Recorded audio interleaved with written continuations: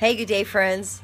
Bird Dog 1227 wanted to follow up on a very important video. A good friend of mine, Dan, you know him as the firearm guy, put out earlier, and it's about truck guns. It's a very serious video. His was stolen, and I wanted to please give you my opinion that truck guns are unnecessary and they are very dangerous. I'm going to go further and tell you that they're almost irresponsible. You need to remember, please, the safety involved with a firearm is priority number one. And so I say to all my friends to please remember you should have your weapon with you, on you, in your possession at all time.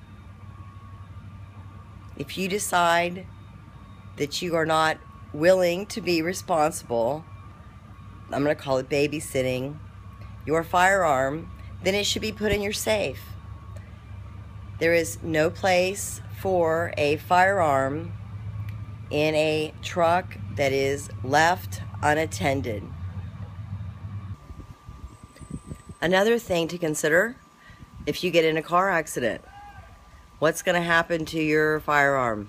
If you're incapacitated and perhaps even taken away in an ambulance. The tow truck may take your vehicle away with your firearm and then you'll never be able to really have any chain of custody on it. So the truck gun is an important topic to seriously think through. And please don't misunderstand me, this has no application to hunting or sports shooting.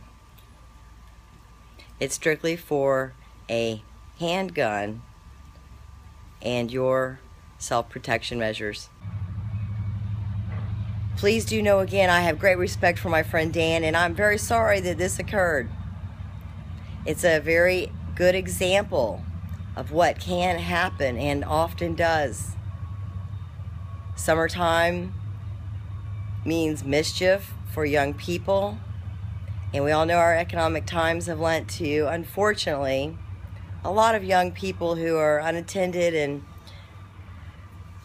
up to mischief this summer. So, you know, it would be terrible if your firearm was stolen and someone was murdered with your firearm. Of course, he did the right thing to report the theft but I do know his experience is unfortunately a common one. So please, today, make sure that you have your firearm accounted for, you know where it is, and review your security protocol. Please do that for me. Please do it for yourself and perhaps someone who you may, in fact, prevent their injury with thereof. Thank you very much for considering this serious topic. And again, have a great day. Bird Dog 1227. I'm just looking out for you guys. Thank you very much.